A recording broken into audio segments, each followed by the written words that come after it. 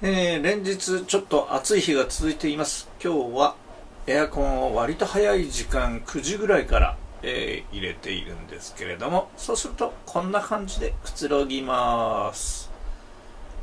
気持ちいいんだね。ちょうどエアコンの風もここは当たっていると思うんだけどつい何日か前にですね暑い日に、えー、エアコンを我慢していたら2人ともちょっと伸びた感じになってグデーとしていたのでね、えー、このぐらいの調整をもうしていかなきゃいけないですね。アップで撮ってみようか。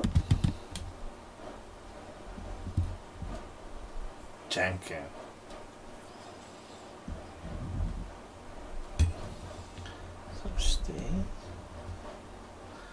content.